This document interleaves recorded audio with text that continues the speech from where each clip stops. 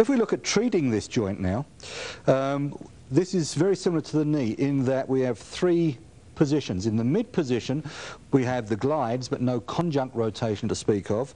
At the ends of ranges, towards the ends of ranges, we have the glide plus a conjunct rotation, and at the extreme of range, we have a, um, a hinge in movement again. Now, that hinge in movement and the extremes of range can be assessed with quadrants. And in the quadrants, as you would expect, we have four quadrants. There are two flexion. Now, the first flexion quadrant is flexion, pronation, and adduction, like so. And the other flexion quadrant is flexion, supination, and abduction. So you're leading with your thumb all of the time. And this is easy enough to do because if you go the wrong way, then you get no real end feel. So just to repeat this, it's pronation, flexion, adduction, flexion, supination, abduction. For the extension quadrants, we'll bring the arm down into the extended position and it's extension, pronation and abduction and extension, supination and adduction. So we're looking for the normal ovoids and this is where you'll pick up the extreme of range limitations and also the ab and adduction restrictions at the ulno-humeral joint. And the quadrants again can be used to uh, treat these joints. But we'll look first at the mid-range technique. Now for acute pain we can apply traction and if we leave the um, elbow in its rest position here and we'll put a hand on the ulna, the other one on the overcoming over the top of that hand and then we simply lean away, gently lean away and we take the ulna um, inferiorly in line with the humerus and also slightly backwards. So it's an oblique glide like so. And this will traction most of the joint surface. The problem that you've got, of course, is that these are very congruent joint surfaces and consequently you can't traction it simultaneously, all of the joint surfaces simultaneously. But that particular oblique direction will give you most of it.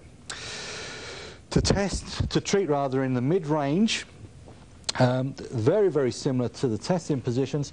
Stabilize, grab the ulna again, and we will simply glide it forwards and rock forwards for flexion, glide it backwards and rock backwards for extension in the mid-range. And you would grade these depending on whether you're treating for pain or for stiffness. For the ends of range, we'll have to uh, accommodate this with the conjunct rotation. So if we look at flexion, we can flex the arm to the barrier, supinate it for the conjunct rotation, and then do the hold relax technique to get it into that range. And then I shall hold onto the olecranon with my finger around the back of the olecranon again there, and with the arm supinated and the upper arm stabilized, I can then pull this into an anterior glide while it's supinated or laterally rotated, like so.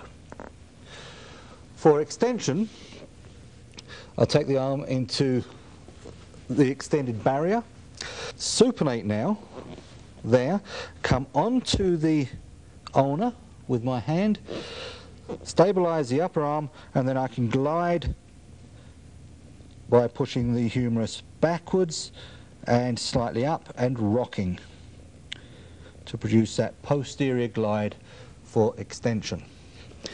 For the extremes of range, in this position, we can come out and simply rock the, the bone into extension and rock the bone into flexion. Now, we do have to be concerned with the medial and lateral glides here as well. And we will mobilize these again simply by stabilizing the arm on the bed. Can you move across a bit for me, Nora? So we'll have the arm out in this position. If the patient can't laterally rotate the shoulder sufficiently, then we can just roll the patient towards us, which will take some of the stress off of the shoulder in that position. Okay, but Nora's in fairly good shape, so we're all right. Stabilizing the arm on the bed, use a sandbag if you need to. The elbow should be in its rest position again. And for the lateral glide, I'll come onto the medial side of the ulna and very close into the joint and then simply glide this laterally, like so. And for the medial glide, I'll medially rotate her arm so that the medial epicondyle is down now. Keep the elbow in its resting position again, and this time I have to come through the radius to glide the arm medially to produce abduction. Okay, so that'll take care of most of the problems you're going to come across that you can use mobilization for. Of course, there, uh, there are some conditions that need manipulation. We have loose bodies where we have to do manipulation techniques, but these will be shown on another tape of more advanced techniques.